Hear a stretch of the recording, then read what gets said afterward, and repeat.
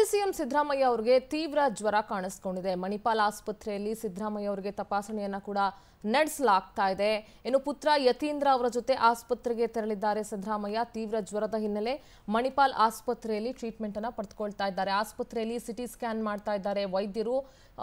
ಸಿದ್- ಸದ್ಯ ಸಿದ್ದರಾಮಯ್ಯ ಅವರಿಗೆ corona negative report ಬಂದಿದೆ. ಒಂದು ವೇಳೆ ಏನಾದರೂ ವೈದ್ಯರು ಸೂಚಿಸಿದ್ರೆ ಅಡ್ಮಿಟ್ ಆಗುವಂತಹ ಸಾಧ್ಯತೆ ಇದೆ. ಅವರ ಪುತ್ರ ಯತೀಂದ್ರ ಅವರ ಜೊತೆ ಆಸ್ಪತ್ರೆಗೆ ತೆರಳಿದ್ದಾರೆ. ಆಸ್ಪತ್ರೆಯಲ್ಲಿ ತಪಾಸಣೆಯನ್ನ ನಡೆಸಲಾಗ್ತಾ ಇದೆ. ಸೊ ಸಿಟಿ ಸ್ಕ್ಯಾನ್ ಅನ್ನ ಕೂಡ ವೈದ್ಯರು ಮಾಡಲಿದ್ದಾರೆ. ವೈದ್ಯರು ಏನಾದರೂ ಸೂಚಿಸಿದ್ರೆ ಡಾಕ್ಟರ್ಸ್ ಏನಾದರೂ ಹೇಳಿದ್ರೆ ಸೊ ಅಡ್ಮಿಟ್ ಆಗುವಂತಹ ಸಾಧ್ಯತೆ